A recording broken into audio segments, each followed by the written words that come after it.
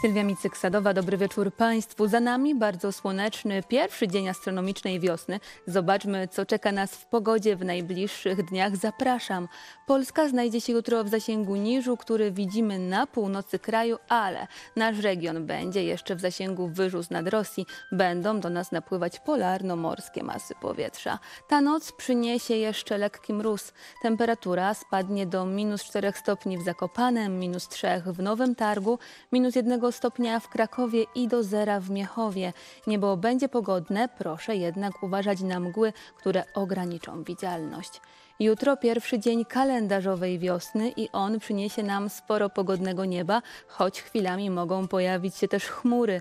Na termometrach prawdziwie wiosenne wartości 14 stopni w Tarnowie, 13 na północy regionu, 12-11 stopni w centrum i 10 na Podhalu. Jeśli planują Państwo jutro wiosenny spacer, to w Krakowie najcieplej będzie około godziny 15.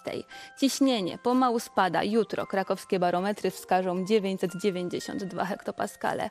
Piątek przyniesie nam więcej chmur i lokalnie popada, a termometry wskażą od 9 do 12 stopni. W sobotę padać nie powinno i zrobi się cieplej. Na termometrach od 14 do 16 stopni.